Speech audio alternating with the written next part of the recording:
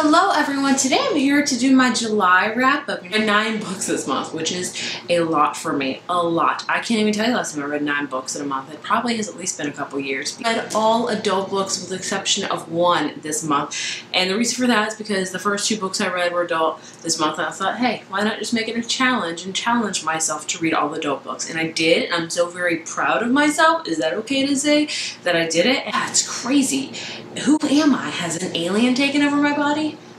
I'm not sure. The first one I want to talk about is actually a reread for me. So I read nine books plus one reread. This book is also a reread and is the only YA book I read this month, and that is Harry Potter and the Deathly Hallows. I finally finished listening to it. If you didn't know, it was like my one of my goals over the past like three years to finally reread the Harry Potter series because before booktube I reread Harry Potter all the time but it's been five years since I've reread them. I decided to do it this year and I decided to listen to them and it has been such an amazing this got to be my second favorite book after The Prisoner of Azkaban. I was just my heart was like palpitating the whole time even though I knew even though I knew what was gonna happen I was still so nervous I'm like what's gonna happen but I knew what was gonna happen obviously but it's just amazing when you reread things that you thought you you knew so well and you learn all these new things and you forgot all these things and you, it's like reading it for the first time. So I loved revisiting it so much. I'm so so very sad I'm done listening to them because listening to them has been such an amazing experience and I think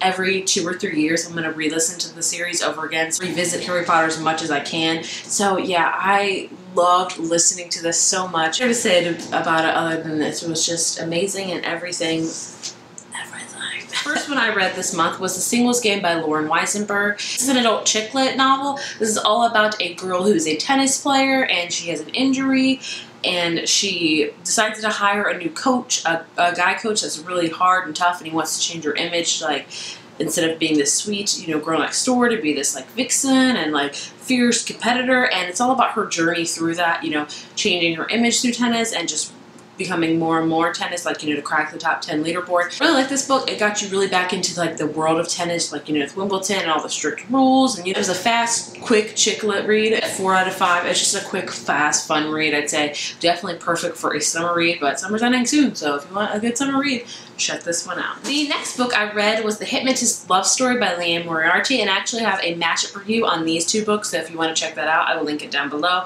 and there will be a card right up here. I've read a lot of Liane Moriarty books this year, and this is definitely my least favorite I've ever read by hers. Granted, I still have two more to read, and then I will be done, like I will be current, up to date with all of Liane Moriarty's book, but I don't know, I really did not enjoy this. It's literally what the title says. It's about this hypnotist, and she falls in love with this guy who has an ex, who has an ex-girlfriend who's stalking him, and it was just very, if I could define this book more, word, would be boring. And Moriarty really writes a story that will wrap you in. You can read her very quickly. You'll find that if you start one of her books, you probably finish in two days. I did get involved in the story, but after I was done with it, I was just like, it, I didn't feel like I gained anything from reading this. It was kind of boring. The love was boring. I just, the only interesting part of this was the stalker. And other than that, it was just boring. It was okay. I gave it a 3 out of 5. I'd probably give it a 2 out of 5, but I gave it 3 because I did finish it fast. It did keep me captivated, but at the end of the day, I just didn't love it. I just really did. The next book I read is The Coincidence of Coconut Cake by Amy E. Reichart. I hope I said that right.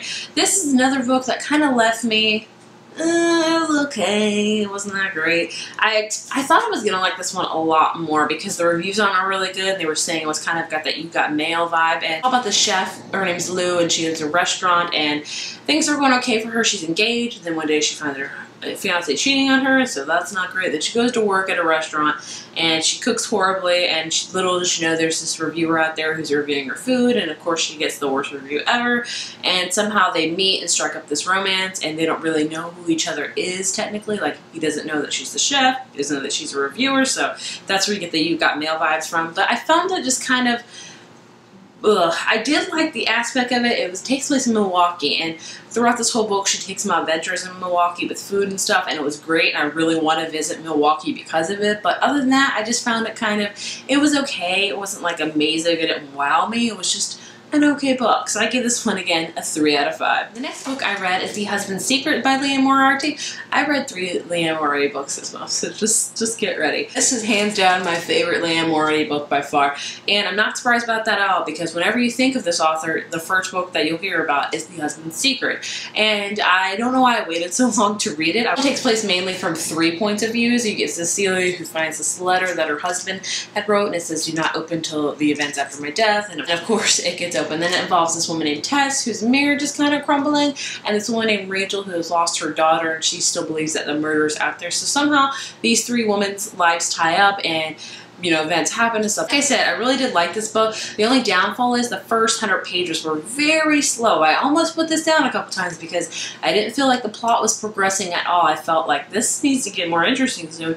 And after 100 pages it did. The book is amazing just for the last two pages. I know, you're crazy. It's crazy, but believe you me, it is amazing, those last two pages. Overall, like I said, this is my favorite book of hers by far. I haven't read any, I haven't rated any of her books five stars, so my highest ratings are four out of five. We're getting strict on this one, I give it a four and a half out of five. I think it would get a full five out of five if it wasn't for that really slow beginning because it was it was a very slow beginning. The next book I read is The Silent Sister by Dan by Diane Chamberlain. This mystery slash thriller novel all about this girl who has always believed that her sister has committed suicide when she's very young and then her dad passes away many years later and she's getting his affairs in order at the house and she finds some evidence that proves maybe her sister really didn't commit suicide after all and maybe she's still out there. So that's what this whole thing's about. I think I went into this expecting more of a thriller aspect and it definitely wasn't. It had like a little tiny thing of mystery and it was more about like the family drama. Not to say it's not bad at all, but I found this book okay. I know I, I rated it originally on Goodreads 4 out of 5, but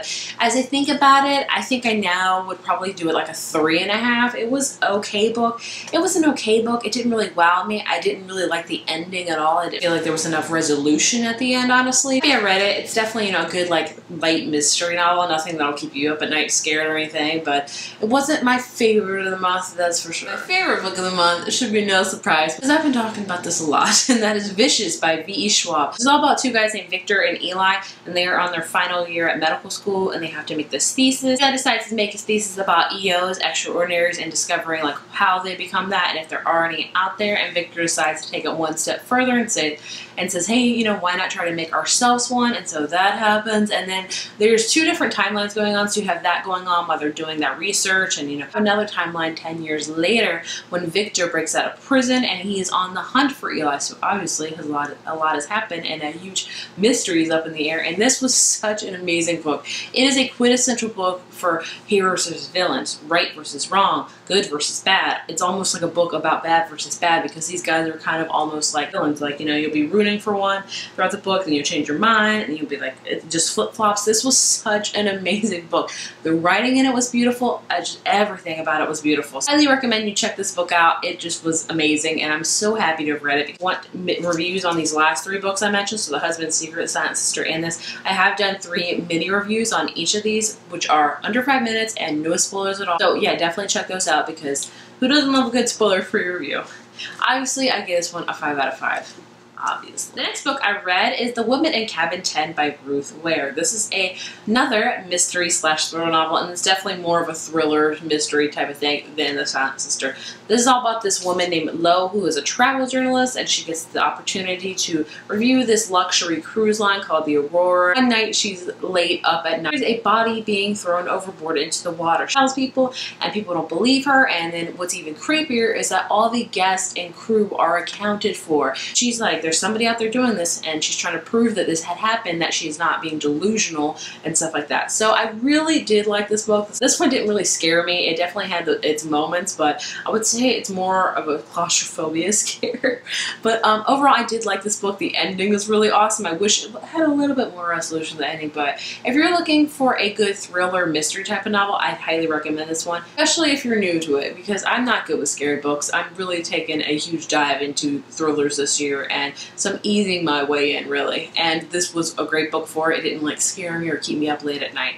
I give this book a 4 out of 5. The next book I read is actually a new adult book. I consider it kind of adult. That is It Ends With Us by Colleen Hoover. Like I said, this is a new adult book and this is about a girl named Lily who gets into a relationship with this neurosurgeon named Ryle and he's very arrogant and cocky. Hope this doesn't spoil anything, but I think this should be mentioned because I think it could be a trigger warning for people. This does deal with domestic violence and abuse, so just know that going into it. That's all I'm going to say about it because I don't want to spoil you, but I just want you to know exactly what you're getting into before this book. This is my favorite Colleen Hoover book. I haven't read all her books because she's written a lot, but I've read like maybe three or four, but I have Colleen Hoover's even a hit or a miss for me. Her last two books have been a hit for me. I've liked them a lot, but some of her other ones I haven't really enjoyed. This one had a huge emotional impact on me. I really felt like it was much more emotional than her other previous books, and she really wrote it well, and I think the story is very personal to her, and I just really enjoyed it. I think she captured this whole you know, horrible situation very well, and she brought a new light onto subjects, and it made me really ponder about things, especially in this,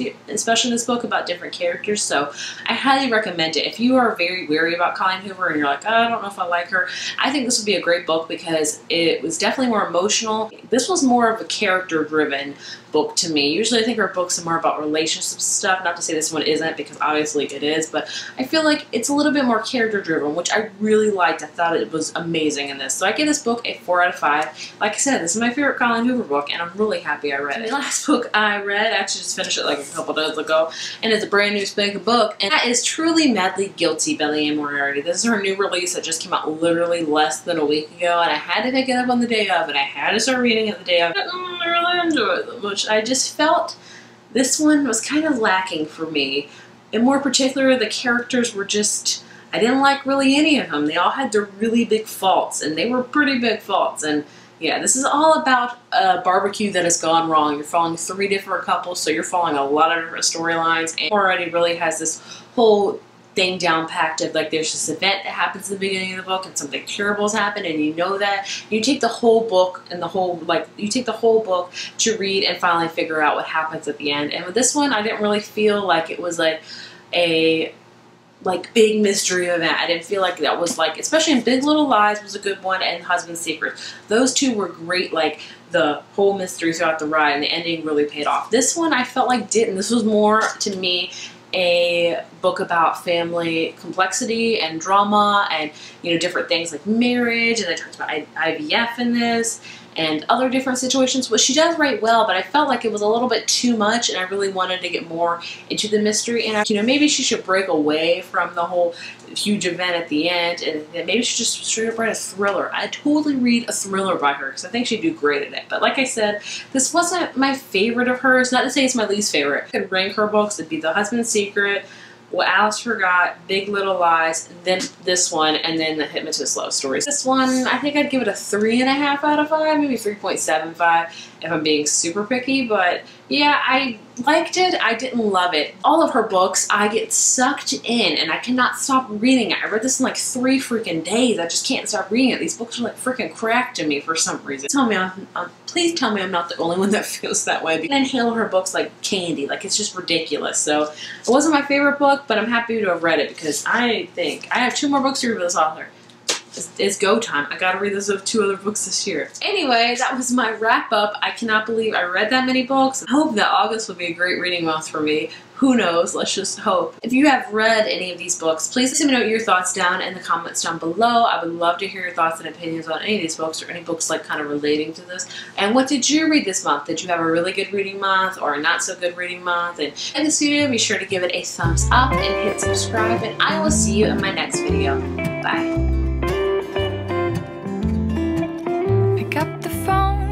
Honey. I thought you liked to know, took out a long